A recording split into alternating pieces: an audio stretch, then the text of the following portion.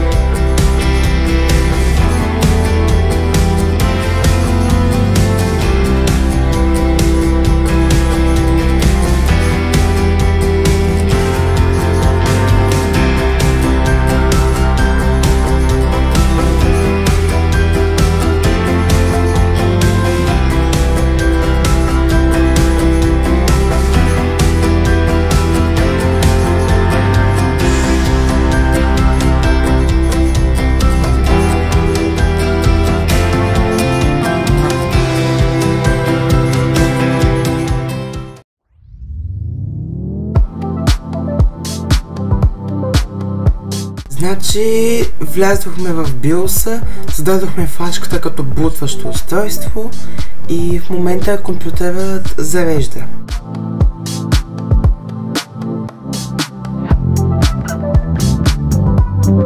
Ако трябва съм честен с вас, инсталирането на Windows е абсолютно същото като това на Windows 10.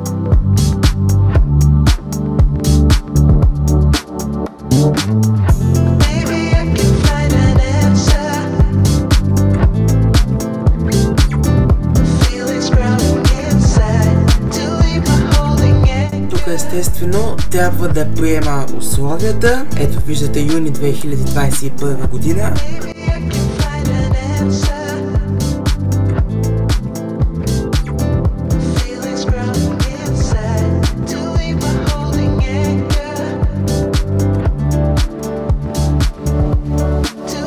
Тук изтивам всички дялове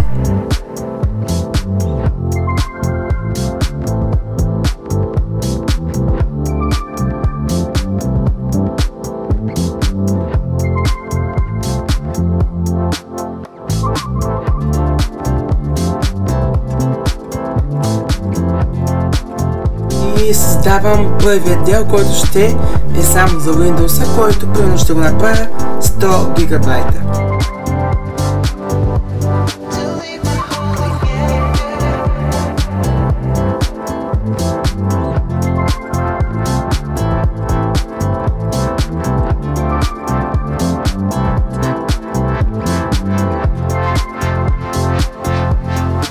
И останаха още няколко гигабайта, които ще ги внеса като втори дял, за да има диск D за данни.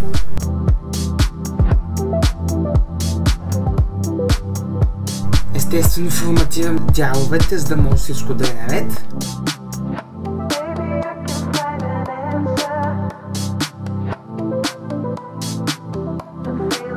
И избирам Windows да се инсталира на първият дял.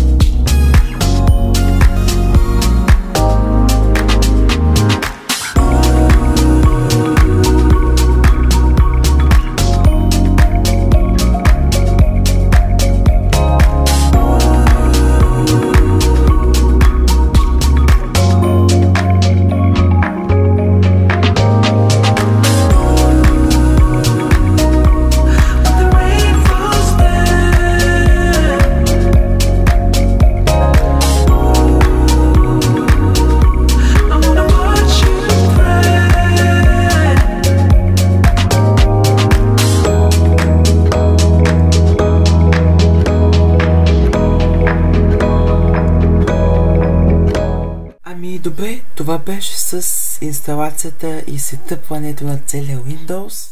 Надявам се да ви е харесал новият Windows и искам да кажа, че за този видеоклип положих наистина много усилия, за да го направя перфектен за моите очи. Затова се надявам и на вас също да ви е харесал. Ако наистина ви е харесал, може да се абонирате за канала ми, ако все още не сте.